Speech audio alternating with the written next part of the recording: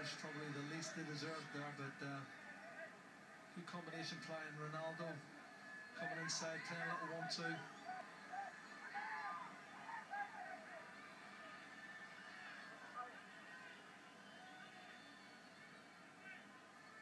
Ozil's corner. Oh, Goal for Real Madrid. Cristiano Ronaldo.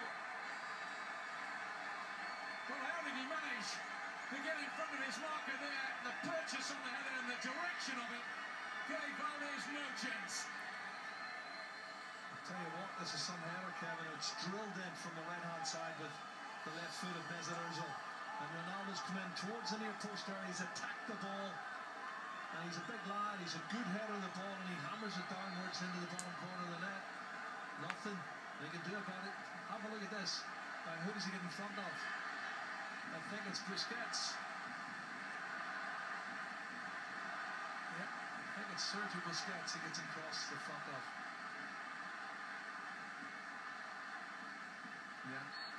Great header, he's, he's positive there. He's powerful. He's focused. And that's the sucker punch. All those opportunities wasted by Barcelona. Now they're 1 0 down, and it's a away goal, Kevin, as well. Ronaldo scoring for the fourth successive occasion in this stadium. But here, an immediate reply, maybe, yes! Well, now we've got a game on. Pedro equalises within seconds, right from the kickoff. Well, from one sucker punch to another.